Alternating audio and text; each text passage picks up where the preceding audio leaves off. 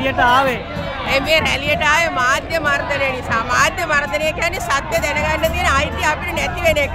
ඒකට අපි විරුද්ධයි. ඒ වගේ මේකට විතර නෙවෙයි අපි විරුද්ධ අද රටේ මේ උතුරේ දකුණේ මිනිස්සු මරණයකට උතුරේ මිනිස්සු මරනවා උඩින් ගිහිල්ලා බියොම්බ දාලා.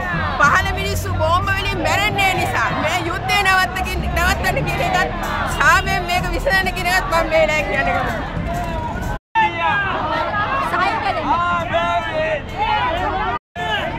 මාධ්‍ය මර්ධනය කියන්න පැහැදිලිවම පොදුවේ සියලු මර්ධනයන්ගේ ප්‍රථම පියවර කියලා අපි දකින්නේ. අපි විශේෂයෙන් අපි දැක්ක පෞගිය කාලේ ගුරු අරගලවලදී පැහැදිලිවම මාධ්‍ය මගින් තමයි සියලු ක්‍රියාකාරකම් අපි කළේ. මේ විදිහට මාධ්‍ය මර්ධනය කරොත් කම්කරුවන්ට ගොවීන්ට දීවරයන්ට ගුරුවරුන්ට තමන්ගේ අදහස් ප්‍රකාශ කරන වේදිකාවක් නැති වෙනවා.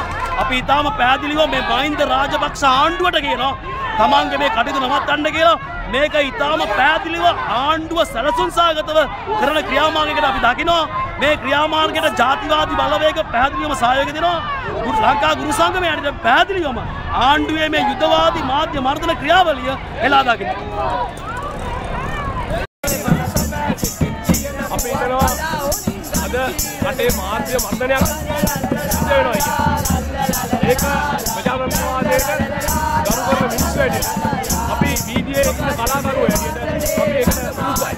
ඒ නිසායි අපි මේ වැඩේ